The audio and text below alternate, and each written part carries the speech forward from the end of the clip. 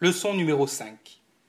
Nature et signification des névroses, la fuite hors de la réalité, le refuge dans la maladie, la régression, relation entre les phénomènes pathologiques et diverses manifestations de la vie normale, l'art, le transfert, la sublimation.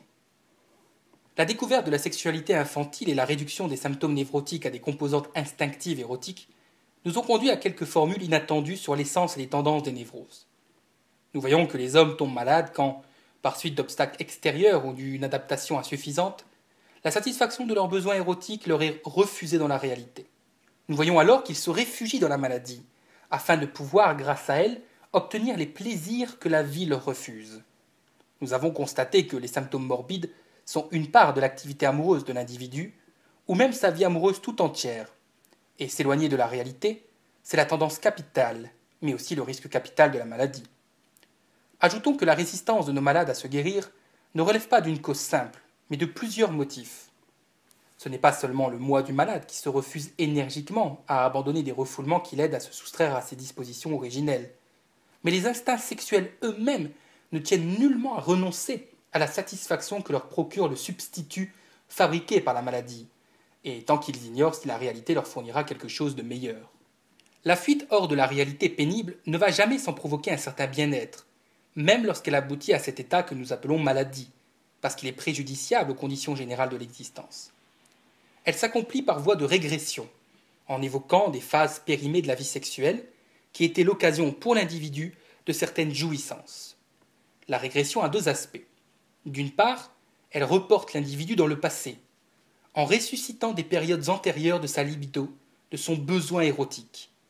D'autre part, elle suscite des expressions qui sont propres à ces périodes primitives. Mais ces deux aspects, aspect chronologique et aspect formel, se ramènent à une formule unique qui est retour à l'enfance et rétablissement d'une étape infantile de la vie sexuelle. Plus on approfondit la pathogénèse des névroses, plus on aperçoit les relations qui les unissent aux autres phénomènes de la vie psychique de l'homme, même à ceux auxquels nous attachons le plus de valeur.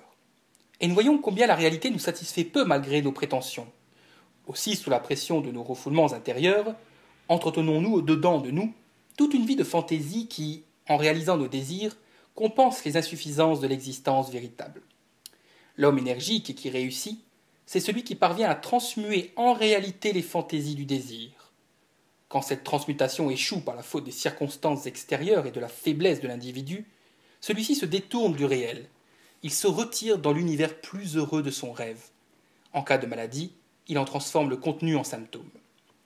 Dans certaines conditions favorables, il peut encore trouver un autre moyen de passer de ses fantaisies à la réalité, au lieu de s'écarter définitivement d'elles par régression dans le domaine infantile. J'entends que, s'il possède le don artistique, psychologiquement si mystérieux, il peut, au lieu de symptômes, transformer ses rêves en créations esthétiques. Ainsi échappe-t-il au destin de la névrose et trouve-t-il par ce détour un rapport avec la réalité. Quand cette précieuse faculté manque ou se montre insuffisante, il devient inévitable que la libido parvienne, par régression, à la réapparition des désirs infantiles et donc à la névrose.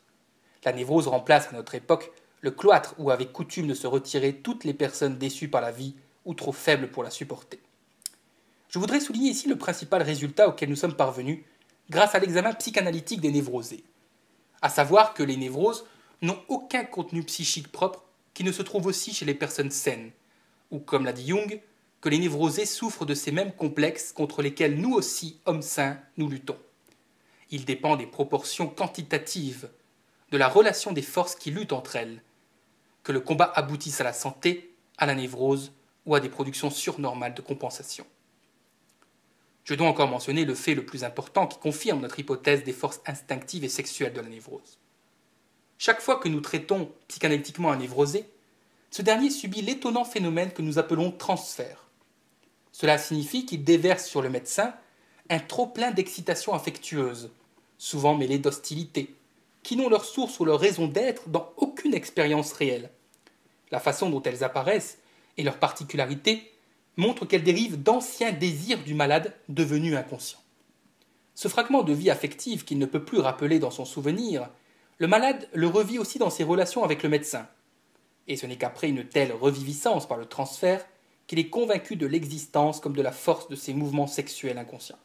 Les symptômes qui, pour emprunter une comparaison à la chimie, sont les précipités d'anciennes expériences d'amour, ne peuvent se dissoudre et se transformer en d'autres produits psychiques qu'à la température plus élevée de l'événement du transfert. Dans cette réaction, le médecin joue, selon l'excellente expression de Ferenczi, le rôle d'un ferment catalytique qui attire temporairement à lui les affects qui viennent d'être libérés. L'étude du transfert peut aussi vous donner la clé de la suggestion hypnotique, dont nous nous étions servis au début comme moyen technique d'exploration de l'inconscient.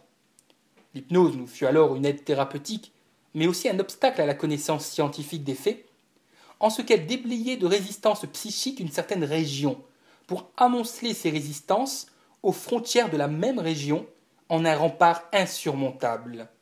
Il ne faut pas croire d'ailleurs que le phénomène du transfert, dont je ne puis malheureusement dire ici que peu de choses, soit créé par l'influence psychanalytique. Le transfert s'établit spontanément dans toutes les relations humaines, aussi bien que dans le rapport de malade à médecin. Il transmet partout l'influence thérapeutique et il agit avec d'autant plus de force qu'on se doute moins de son existence. La psychanalyse ne le crée donc pas, elle le dévoile seulement et s'en empare pour orienter le malade vers le but souhaité.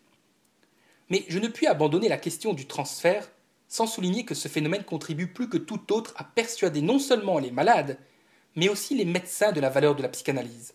Je sais que tous mes partisans n'ont admis la justesse de mes suppositions sur la pathologie des névroses que grâce à des expériences de transfert. Et je peux très bien concevoir que l'on ne soit pas convaincu tant qu'on n'a pratiqué aucune psychanalyse ni constaté les effets du transfert. J'estime qu'il y a deux principales objections d'ordre intellectuel à opposer aux théories psychanalytiques. Premièrement, on n'a pas l'habitude de déterminer d'une façon rigoureuse la vie psychique. Deuxièmement, on ignore par quel trait les processus psychiques inconscients se différencient des processus conscients qui nous sont familiers. Les critiques les plus fréquentes chez les malades comme chez les personnes en bonne santé se ramènent au second de ces facteurs. On craint de faire du mal par la psychanalyse, on a peur d'appeler à la conscience du malade les instincts sexuels refoulés, comme si cela faisait courir le risque d'une victoire de ces instincts sur les plus hautes aspirations morales. On remarque que le malade a dans l'âme des blessures à vif, mais on redoute d'y toucher, de peur d'augmenter sa souffrance. Adoptons cette analogie. Il y a certes plus de ménagement à ne pas toucher aux places malades si on ne sait qu'aggraver la douleur. Mais le chirurgien ne se refuse pas d'attaquer la maladie dans son foyer même, quand il pense que son intervention apportera la guérison. Personne ne songe à reprocher au chirurgien les souffrances d'une opération, pourvu qu'elle soit couronnée de succès. Il doit en être de même pour la psychanalyse d'autant plus que les réactions désagréables qu'elle peut momentanément provoquer sont incomparablement moins grandes que celles qui accompagnent une intervention chirurgicale. D'ailleurs, ces désagréments sont bien peu de choses comparés aux tortures de la maladie. Il va sans dire que la psychanalyse doit être exercée selon toutes les règles de l'art. Quant aux instincts qui étaient refoulés que la psychanalyse libère, est-il à craindre qu'en réapparaissant sur la scène, ils ne portent atteinte aux tendances morales et sociales acquises par l'éducation? En rien car nos observations nous ont montré de façon certaine que la force psychique et physique d'un désir est bien plus grande quand il baigne dans l'inconscient que lorsqu'il s'impose à la conscience. On le comprendra si l'on songe qu'un désir inconscient est soustrait à toute influence. Les aspirations opposées n'ont pas de prise sur lui. Au contraire, un désir conscient peut être influencé par tous les autres phénomènes intérieurs qui s'opposent à lui. En corrigeant les résultats du refoulement défectueux, le traitement psychanalytique répond aux ambitions les plus élevées de la vie intellectuelle et morale. Voyons maintenant ce que deviennent les désirs inconscients libérés par la psychanalyse. Par quels moyens peut-on les rendre inoffensifs? Nous en connaissons trois. Il arrive le plus souvent que ces désirs soient simplement supprimés par la réflexion au cours du traitement. Ici, le refoulement est remplacé par une sorte de critique ou de condamnation. Cette critique est d'autant plus aisée qu'elle porte sur les produits d'une période infantile du mois. Jadis, l'individu, alors faible et incomplètement développé, incapable de lutter efficacement contre un penchant impossible à satisfaire, n'avait pu que le refouler. Aujourd'hui, en pleine maturité, il est capable de le maîtriser. Le second moyen par lequel la psychanalyse ouvre une issue aux instincts qu'elle découvre consiste à les ramener à la fonction normale qui eût été la leur, si le développement de l'individu n'avait pas été perturbé. Il n'est en effet nullement dans l'intérêt de celui-ci d'extirper les désirs infantiles. La névrose, par ses refoulements, l'a privé de nombreuses sources d'énergie psychique qui eussent été fort utiles à la formation de son caractère et au déploiement de son activité. Nous connaissons encore une issue, meilleure peut-être, par où les désirs infantiles peuvent manifester toute leur énergie et substituer au penchant irréalisable de l'individu un but supérieur, situé parfois complètement en dehors de la sexualité, c'est la sublimation. Les tendances qui composent l'instinct sexuel se caractérisent précisément par cette aptitude à la sublimation. À leur fin sexuelle se substitue un objectif plus élevé et de plus grande valeur sociale. C'est à l'enrichissement psychique résultant de ce processus de sublimation que sont dues les plus nobles acquisitions de l'esprit humain. Voici enfin la troisième des conclusions possibles du traitement psychanalytique. Il est légitime qu'un certain nombre des tendances libidinales refoulées soient directement satisfaites et que cette satisfaction soit obtenue par les moyens ordinaires.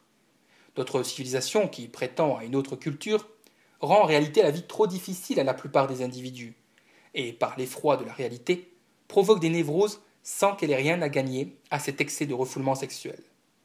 Ne négligeons pas tout à fait ce qu'il y a d'animal dans notre nature. Notre idéal de civilisation n'exige pas qu'on renonce à la satisfaction de l'individu. Sans doute, il est tentant de transfigurer les éléments de la sexualité par le moyen d'une sublimation toujours plus étendue pour le plus grand bien de la société. Mais, de même que dans une machine on ne peut transformer en travail mécanique utilisable la totalité de la chaleur dépensée, de même on ne peut espérer transmuer intégralement l'énergie provenant de l'instinct sexuel. Cela est impossible, et en privant l'instinct sexuel de son aliment naturel, on provoque des conséquences fâcheuses. Rappelez-vous l'histoire du cheval de Schilda. Les habitants de cette petite ville possédaient un cheval dont la force faisait leur admiration. Malheureusement, l'entretien de la bête coûtait fort cher. On résolut donc, pour l'habituer à se passer de nourriture, de diminuer chaque jour d'un grain sa ration d'avoine. Ainsi fut fait. Mais lorsque le dernier grain fut supprimé, le cheval était mort. Les gens de Schilda ne surent jamais pourquoi. Quant à moi, j'incline à croire qu'il est mort de faim, et qu'aucune bête n'est capable de travailler si on ne lui fournit sa ration d'avoine.